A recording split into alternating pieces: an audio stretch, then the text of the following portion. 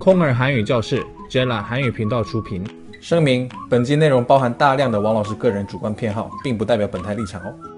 今天要学的是玛利亚庞古亚，玛利亚庞古亚。当你听到一段无脑的话，听完了搞不懂他到底是在说话还是放屁的时候用的，那是话还是屁？有朋友看到子瑜说，其实还好，没有说很漂亮，啊就一般人的长相啊。哇，玛利亚庞古亚，你先照照镜子了你。